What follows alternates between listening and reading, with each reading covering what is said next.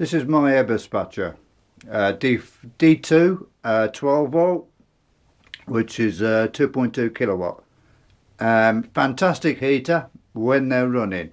Um, but when they uh, when a fault, they they can be right pigs, and usually it means a trip to the Eber agent and uh, giving them a blank check. Um, but anyway, I've had, as I say, I've had this seven years, and for for, for four years it was fantastic. Um, I bought it as a as a recondition unit. Uh, this this was uh, reconditioned, but everything else was brand new. The wiring harness, uh, the retro switch, um, uh, the fuel pump, exhaust, all the hoses, everything was brand new, except for, as I say for the main unit. Um, now this fault after four years the thing wouldn't fire up no matter what I did. I check I checked the um, batteries. Batteries was fully charged. Um, there was plenty of fuel. Um, I tested the pump that was working fine. Uh, no matter what I did, it just wouldn't fire up. Then and then and then by complete accident, and this this, this probably won't uh, this won't help most people, but it's worth trying if, if you've got a similar fault. Um, I'll have to put the phone down because I won't be able to show you what I have to do to get this to fire up. So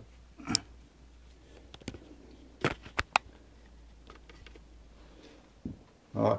Now that that switch has been on now for half hour and, and nothing's happened.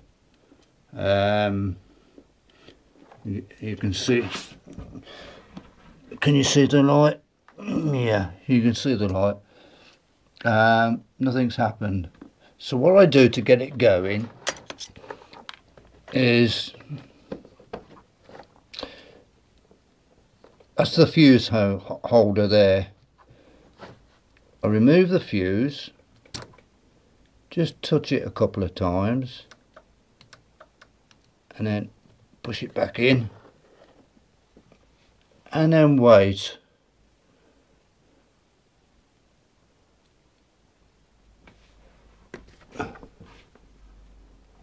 Sometimes it takes a couple of times but uh, attempts but um,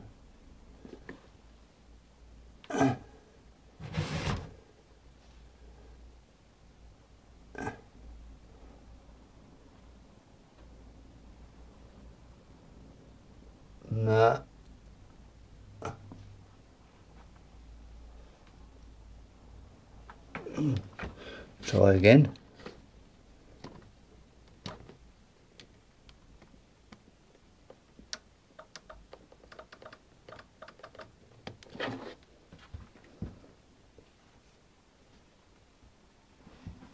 That's it.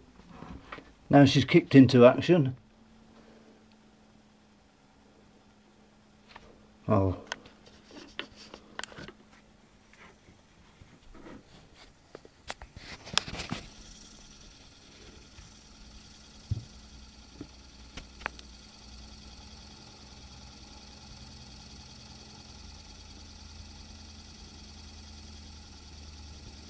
This is going to be pretty boring, but um, there's no way of showing you this. I mean, there's probably people out there, probably people who experience with these will know what exactly what the problem is, but um, I don't know what the problem is, because, but that's all I have to do to get this thing to fire up.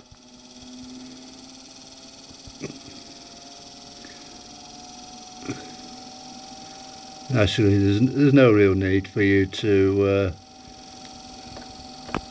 you can hear the pump going now.